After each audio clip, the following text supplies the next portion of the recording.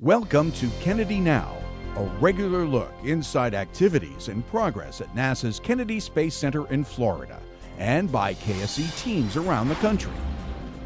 Three, two, one. Main engine start, ignition, and liftoff. Maven flew into space aboard a United Launch Alliance Atlas V rocket on November 18th to cap a flawless launch campaign by NASA's Launch Services Program. Teams of engineers and technicians spent months preparing the Maven orbiter for a daunting 10 month journey from Earth to Mars. Maven will orbit the red planet for at least a year, taking detailed readings about the upper atmosphere to show scientists unprecedented details about the planet's ancient air. Engineers soon will begin preparation for NASA's next mission, the launch of the TDRS L communications satellite.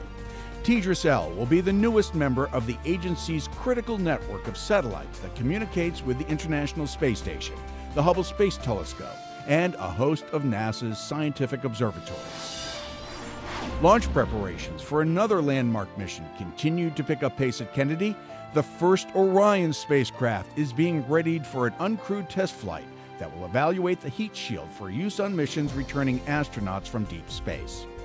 That heat shield arrived at Kennedy on December 5th and was taken to a processing area where specialists will attach it to the bottom of the Orion.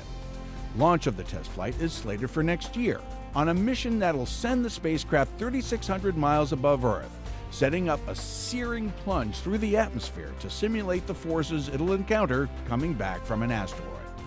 NASA Administrator Charlie Bolden and Kennedy Director Bob Cabana, both former astronauts, took a look at some of the hardware under construction for the Orion mission. The agency's commercial crew program based at Kennedy moved within sight of its ultimate objective.